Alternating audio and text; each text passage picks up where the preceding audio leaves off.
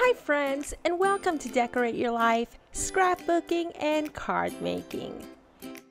The other day I shared with you my unboxing video for the new Spellbinders card kit of the month for the month of June and today I'm going to be sharing some card making ideas from items from this kit.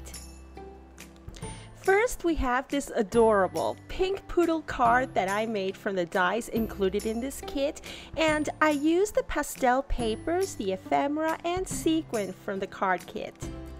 This next handmade greeting card also uses dies, ephemera, pastel paper, foam dots, gold cardstock, and sequin from the Spellbinders card making kit. For this card, I decided to keep it simple.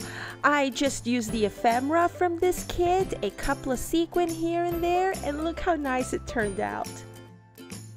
I decided to use one of the vellum foil sheets for this one. I added dimensional foam to the die cut shapes and I was done. Thank you for watching my Spellbinders card making ideas for June video and I'll leave you links for everything that you see here underneath the video and in my blog. Until next time, bye now.